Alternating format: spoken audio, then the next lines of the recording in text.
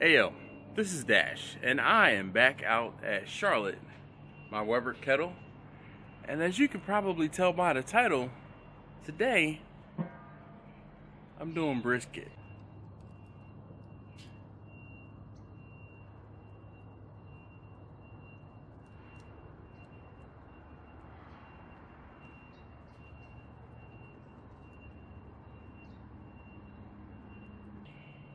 Again.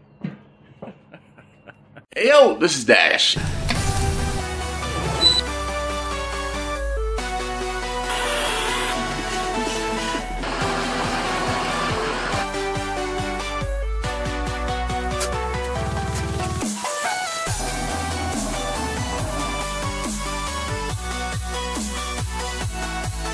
Get ready.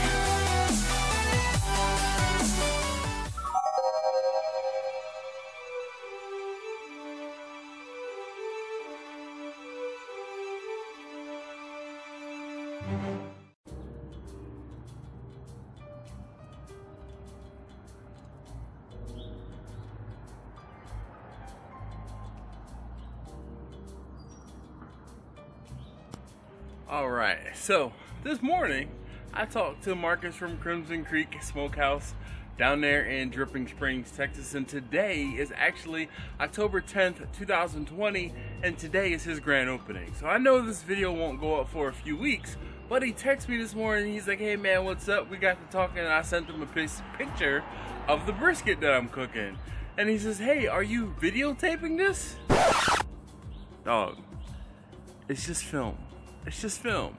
And his reply, because he knew that I was thinking, it's just film. His reply was, yes, I said videotape. All right, but today I'm doing this brisket. This brisket is actually for a long-term customer of mine.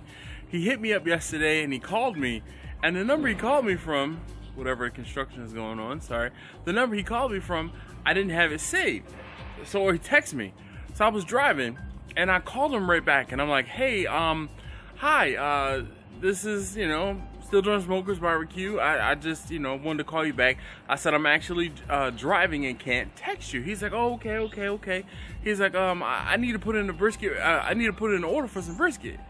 And I'm like, okay, sure, no problem. Well, when did you need it and how much did you want? He's like, um, can I get uh, three pounds of brisket and, and, you know, as soon as possible or whenever you can?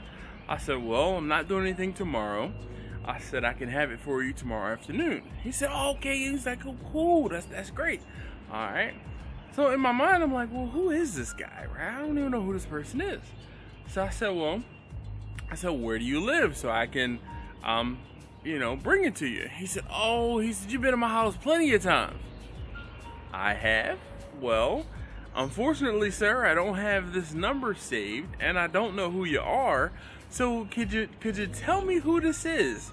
And he's like, no, I'm not telling you who this is. You know, he started pulling my chain, right? So I'm like, okay, well, unless I know who this is, I can't necessarily give you any brisket.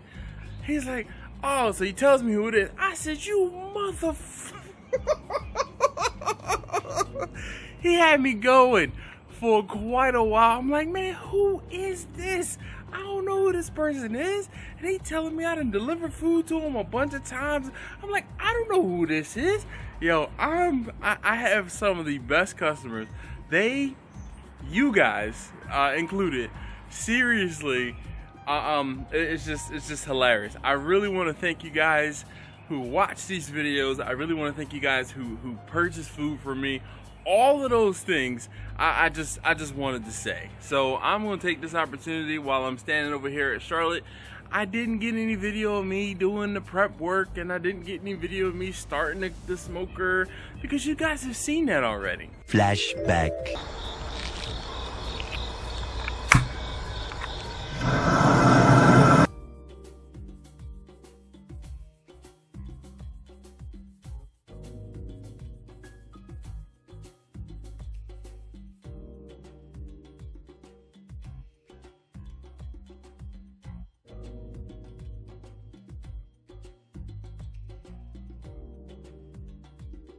End of flashback.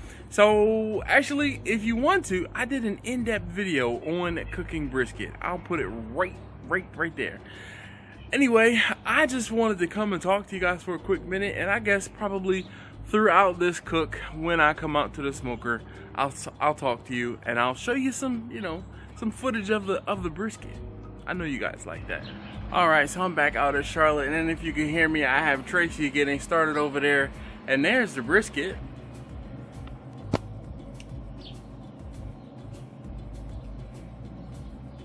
That looks pretty good. So the brisket has been on, and I'm I actually I don't even know how long it's been on. I wasn't really checking for time. Uh, it has hit an internal temperature of 150 degrees, and I'm getting ready to get it into a foil pan and then on Tracy because my wife and I have some errands we need to run. So I'm gonna go ahead and pull this, put it in the pan. Ooh, boy, look at that. This, this brisket, the, the color is spot on.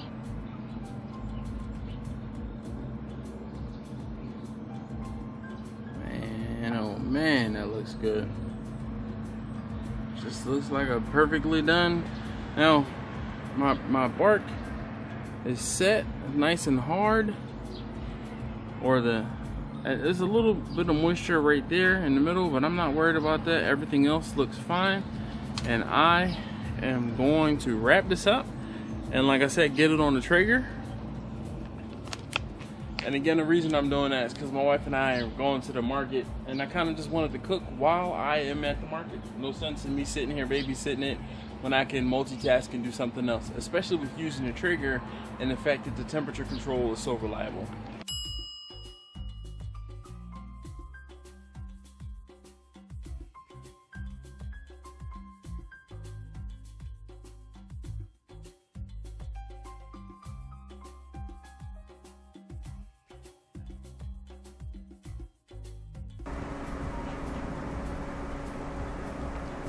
This was done on the Weber kettle.